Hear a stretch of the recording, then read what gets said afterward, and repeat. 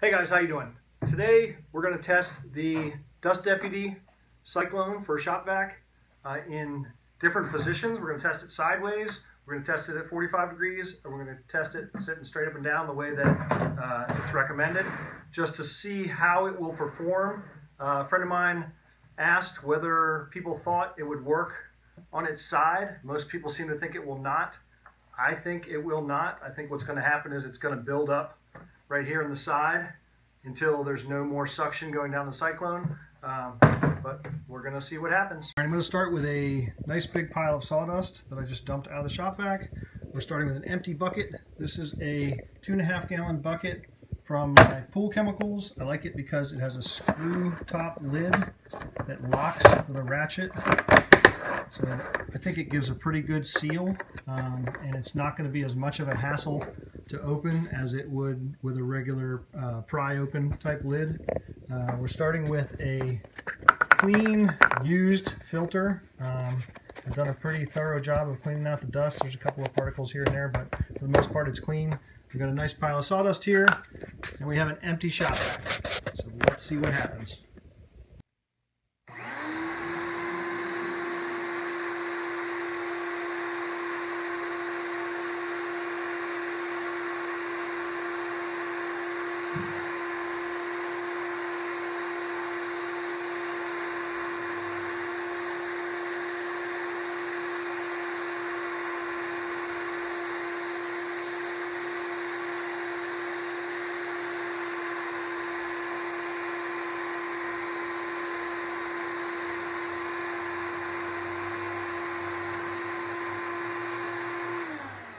All right, the first thing we're going to look at is how much dust went into the shop vac.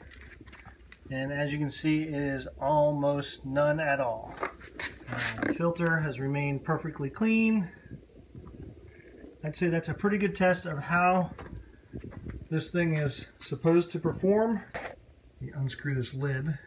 Has an almost full bucket of sawdust and nothing in the shop vac. That's a pretty good test. Going back to an empty bucket again.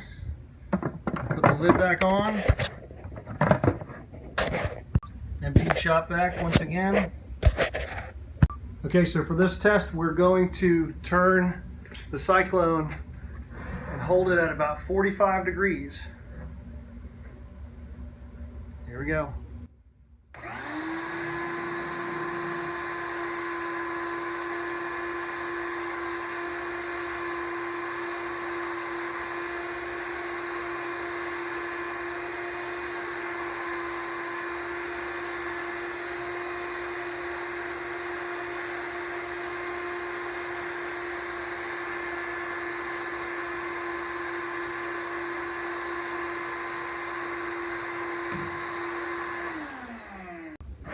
All right, the first thing we're going to look at is how much went into the shop vac. I would say significantly more sawdust in the shop vac than what we had when the Cyclone was upright. Let's check the bucket. Still a fair amount in the bucket, but probably, I don't know, maybe uh, a little more than half of what we had when the Cyclone was vertical. So next we're going to try it on its side. I would also like to note that we now have a significant amount of dust starting to build up in the filter after that second test, uh, which is really what you're trying to get away from by using the Cyclone. All right, the bucket and the Cyclone are now sitting at about 90 degrees. So here we go.